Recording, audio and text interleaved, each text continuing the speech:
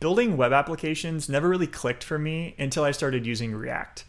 That's been four years ago now, and React is still my go to for almost every website that I build. But I'm pretty convinced the future of React is actually Next.js, and that's a pretty bold claim, so let's start this video with some level setting. This video is not going to be putting down other frameworks. Over the past four years, I've used Create React app, I've used Gatsby and other React frameworks, and as with most technical choices, it really depends. It works great for lots of people. Instead, what this video is going to be is me highlighting some of my favorite features of Next.js and why I personally feel like it's the future of React. Also, I have to address my bias. I am a contributor to Next.js and I made two courses on it, but this video isn't going to be prescriptive and I'll let you make your own decisions based on the information that you hear. So there's really five things that I want to talk about today. We're going to do some background on Next.js. We're going to talk about performance, developer experience, deployment, and then finally the community around Next.js. First, some background. So React is by far the most popular way to build web applications in 2020 and if you haven't heard of Next.js, that's okay. I'll give a quick high level overview. Next.js is a framework built on top of React that abstracts away some of the complexity while still giving you the flexibility to build scalable React applications. So with traditional React applications, you can only render on the client side. And Next.js gives you the flexibility to choose on a per page basis whether you want to render on the client or the server or a mix of both. This hybrid approach makes it really scalable as you grow your application from maybe a few pages to thousands. You don't have to leave the bounds of the framework. It also allows you to choose which data fetching strategy makes the most sense given your use case. So if you're building a marketing page like a pricing page or a home page, you want that to be static. But if you're building something that's highly real time, like say the Facebook news feed, you're gonna want to render that from the server. One of my favorite parts about Next.js are the two APIs get static paths and get static props that allow you to statically generate websites given dynamic data. And I use this all the time. A good analogy for React and its ecosystem is that React is like Linux and frameworks like Next.js, Create React App, and Gatsby are like distributions of Linux. Now, when I started using Next.js, I adopted it because I needed to server side render my React applications. Since then, the framework has evolved to support all the different data fetching strategies we've talked about, and at this point, I use it for basically everything. Next, I want to talk about performance and building performant React applications at a large scale is really difficult, and there's a lot of things that you have to consider. Next.js abstracts a lot of this complexity away for you so that you don't have to worry about all of the complexity of building a performant application and you just get that for free.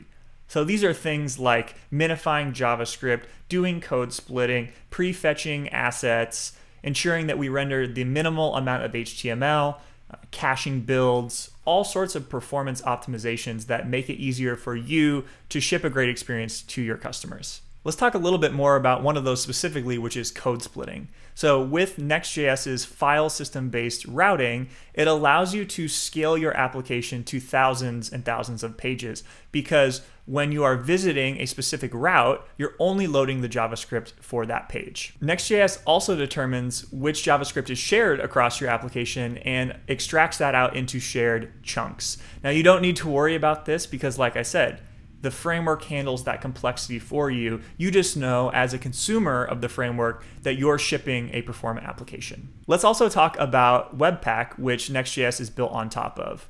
It includes optimizations and plugins that handle things like adding polyfills and object rest spread, class properties, removing prop types in production, ignoring development only libraries, and even contributing back to the Webpack ecosystem to make it faster. It's also worth mentioning that Webpack 5 is being introduced in newer versions of Next.js. now, with all this being said, that doesn't mean that you need to ignore or forget about performance. Performance is still your responsibility as a developer to ship a great experience to your customer. What Next.js does, though, is it allows you to more easily get performance for free. Just don't take it for granted. The third thing that I want to talk about is the developer experience of using Next.js. As I mentioned previously, Next.js is built on top of Webpack and it provides an escape hatch for you to customize Webpack if you need to. So if you know Webpack, then you know how to use Next.js. One of my favorite features of Next.js is React Fast Refresh. And this was developed in coordination with the React Core team and the Next.js team. And as of right now, it's only used internally at Facebook and in Next.js. And this makes the development experience so much better. Essentially, it allows the React state to be preserved when making changes to components. So even if you introduce an error and you fix that error, that React state is still going to remain inside of your application. Speaking of errors, debugging inside of Next.js is really nice. A modal pops up that shows you specifically which line the error happened on and includes source maps to improve your debugging experience. I also love how many things are just included with the framework. For example, if you want to do TypeScript, you just rename the file and it will automatically set up your TypeScript config for you. If you want to add images or other public assets, you just make a new folder, public, and you add files in there and boom, they're just available. You didn't have to configure Webpack or do anything crazy. Same thing with CSS and Sass support. This used to be abstracted away as plugins, and so many people were using it, it just eventually got merged right into the framework so that you don't have to do anything extra to use these files. On the topic of plugins, plugins are really hard to get right you want your framework to be extensible, but you also don't want someone to have to set up seven or eight plugins every single time they start a new application from scratch. In my opinion, a lot of the fatigue in the React ecosystem comes from a lack of opinionated choices. And with Next adding things like image optimization and internationalization directly into the framework, this greatly improves the developer experience. The fourth thing that I want to talk about is the deployment process. It's a common misconception that you can only deploy Next.js apps to Vercel.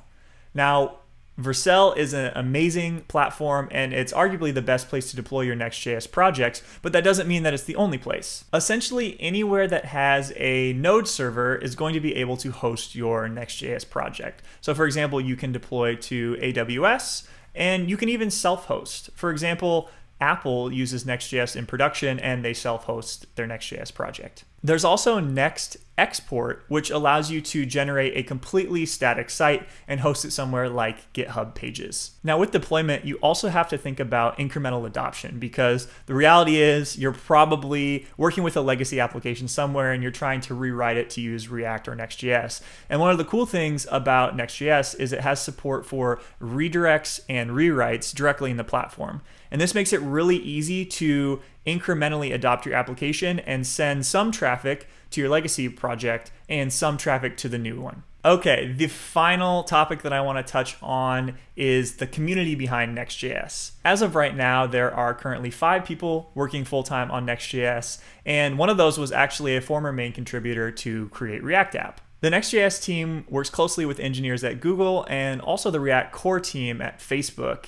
And some of the members of the React core team have been outspoken about their love for Next and how the future of React might look a lot closer to a merger of the client and the server. One really cool stat about Next.js is that it's used in production at five of the Fortune 12 companies. So massive companies are building applications with Next.js, and we're seeing this translate to community adoption as well. The GitHub discussions for Next.js are very active and just recently announced the Next.js conference had over 20,000 signups in the first two days. So there's an amazing, thriving community behind Next.js, and I think that's going to help propel it forward as more people build hybrid React applications. So that wraps up the five sections that I wanted to talk about in this video. As a recap, we did a little background on Next.js. We talked about performance, developer experience, um, the deployment, and finally the community behind Next.js. So hopefully you learned a little bit more about Next.js in this video and understand why I think it's the future of building React applications.